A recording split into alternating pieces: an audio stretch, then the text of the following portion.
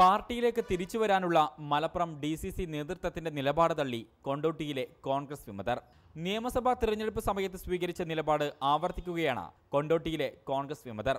തിരഞ്ഞെടുപ്പ് ഘട്ടങ്ങളിൽ മാത്രമാണ് ഡി സി സി നേതൃത്വം അനുരഞ്ജന ശ്രമവുമായി ഇവരെ സമീപിക്കാറുള്ളത്.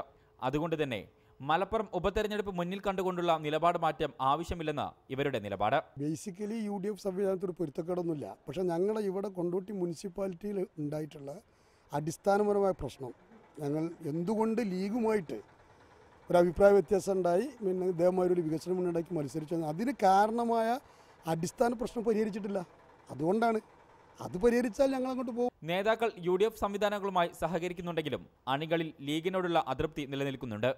കൊണ്ടോട്ടി നഗരസഭ കൂടാതെ വാഴക്കാട് ഗ്രാമപഞ്ചായത്തിലും വികസന മുന്നണിയാണ് ഭരണത്തിൽ.